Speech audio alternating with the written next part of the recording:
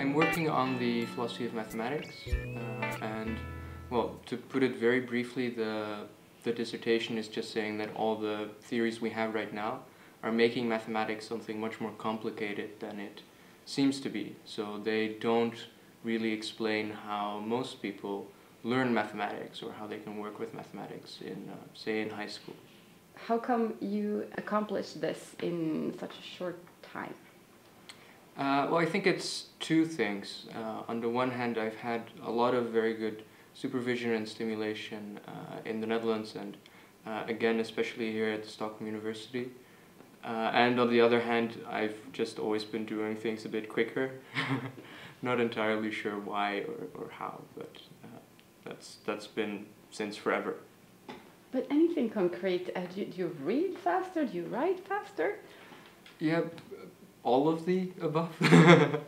uh, so yes, I read uh, faster than most people, but uh, I also seem to process things faster, so I don't remember exactly what I read, but I usually just come up with something new as soon as I've read something. So the, the, the whole process is somehow faster.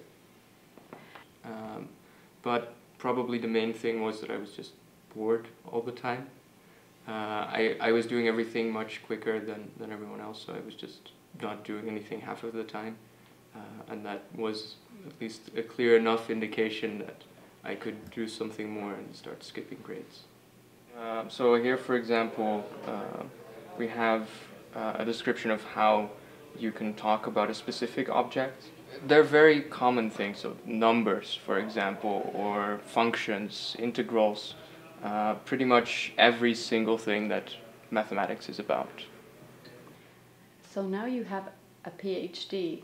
What uh, what's next for you? Uh, well, since my research so far has only been pointing out a problem, uh, of course I want to solve that problem now. Uh, and fortunately, I can keep working as a researcher here in Stockholm for another three years.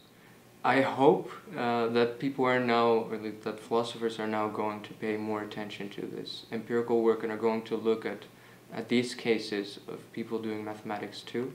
Uh, and then that could lead to more uh, work on how we learn mathematics, which may eventually also be very useful for the psychologists and the pedagogical scientists. So it may actually improve how we teach mathematics, uh, just because then we might be able to understand mathematics better than we do now.